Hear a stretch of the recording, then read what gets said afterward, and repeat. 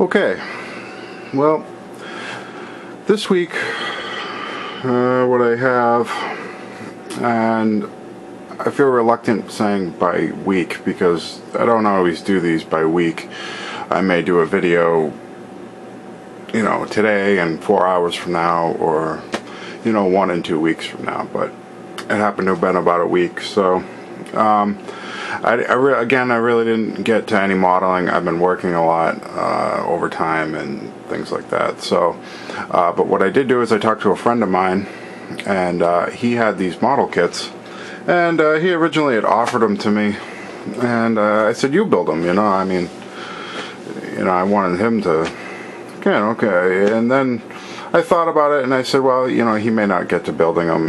He may not, you know, be into the hobby as much as, you know, he did offer them to me. So I, I said, how about I build them and I give them to you and you can display them and, you know, it would be a, a creation, model creation, if you will, uh, for you, you know. So uh, he had a couple of special requests, um, one being that the um, Grand National that's in the back um, is, is uh, going to be built uh, to look like a specific car um, that is like a real car. Um, so I'm going to be attempting that. Um, it's basically that car, only in a certain condition, and I'm going to try and recreate it as like a, uh, you know, um, a recreation or a, you know, a, a replica. There we go. Um, and that's basically what I'm going to be doing. So I thought we'd go over these kits a little bit um, and what he gave me, uh, you know, gave me to work with, and uh, we'll talk about these kits a little bit. Um, first thing I kind of did was uh, I noticed that there's three different kits here. There's a, a Revell, uh, an MPC kit, and a monogram kit. Um, so I got a little curious and looked them up a little bit online and uh, you know just for history because you know I've seen these kits around and you know they're quite popular kits and uh, kind of wanted to know the history. Uh, monogram was uh, founded in 1945 which is amazing about these model companies that they were founded in the, in the 40s and yeah, and everything. Where I mean people have been making models for you know this long. I mean that that's amazing. Um, by two former employees of Comet Kits. Uh, I tried to look up Comet Kits. Uh, I found some kits, uh, obviously very vintage, and uh, then the company was purchased by Mattel in the 70s. Uh, so, you know, that's what I found basically on, you know, like Wikipedia for Monogram. Um, MPC is, you know, stands for uh, Model Products Corporation. Uh, they're part of General Mills. Uh, started in 1963. Um, they had lines of uh, George Barris cars, Ed Roth, and of course they did Star Wars stuff. So um, uh, the 2009 um, round two which I didn't know, I guess, is uh, a part of MPC. So that was interesting, found that. Uh, and Revell, founded in 1943, again, amazing. That I mean, 1943, in California, and they started with trains. So that's just some, you know, quick little history that I'm sure anyone could look up, you know, and um, I'm sure a lot of other people could school me on. Uh, various histories, but uh, yeah, I thought it was interesting. Um, this kit is really cool. It's a Revell kit. It's a 1932 Ford three-window coupe, um, skill level two, and he had already started this kit. Uh, there's all kinds of things in here that uh, I probably will be giving back to him. That's his stuff, but he had already started this kit. He did a good job and there's the motor uh, there's the motor there looks very well detailed some focus um, and basically he had hand painted the car. Um, so I'm gonna uh, I'm gonna fix this up for him and and uh, really do it upright. He broke a wheel off. I'm gonna uh, do something with that, and you know, um, we'll see where it goes. We'll see where it develops into. Um, I had been working on the uh, what is it, the F-14 Tomcat.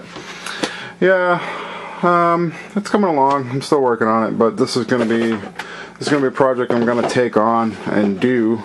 Uh, it's basically, you know, to uh, for him um, to give back to him and uh, for him to enjoy uh, the model kits when they're built.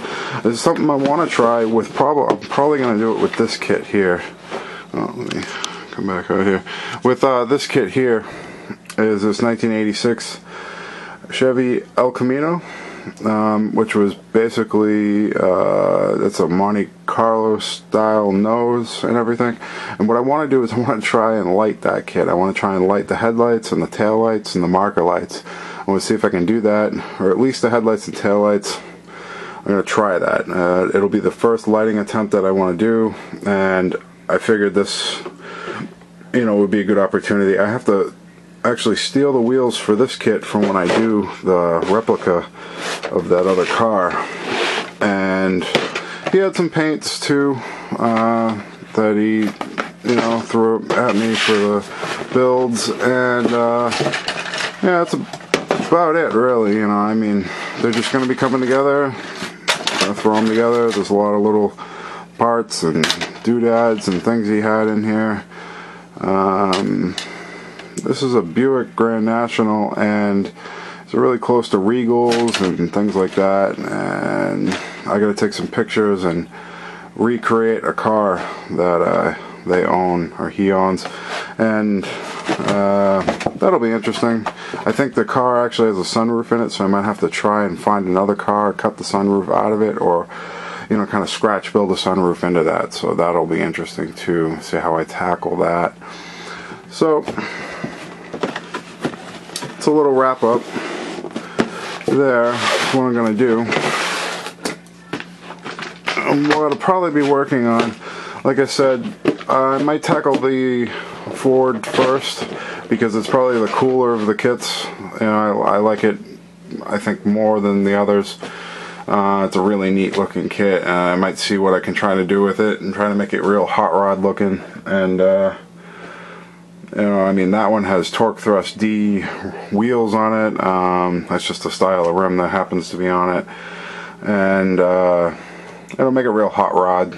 Uh, I might not make it put a shine on it. I might try and make it uh, kind of a rat rod type of thing. We'll see. Um, but that's what I'm going to be doing uh, and probably the coming weeks. We'll see how that comes together. Like I said, I want to light. I want to try doing a, like a lighting kit. Like the El Camino has a lot of space uh, in the back, so I, I, what I'm thinking is I can put like a battery in the bed of the El Camino, and then I can write, run all the wiring and the lights, and you know, it should be pretty easy. I'm thinking. So I'm going to try that. That'll be fun. Uh, you know, again with lighting, haven't done a lot of it, but um, I would like to touch on a little bit of lighting stuff. Uh, just things you find that I found in lighting uh, that could be useful is um, surface mount LEDs, which I don't see a lot of people use because they can fit right in. Um, I don't know how much and how what the availability is online to finding these parts, but it might be interesting to talk about that and see how uh, they work for models. But that's probably it for now. Um, keep an eye out and uh, we'll see how these kits come together.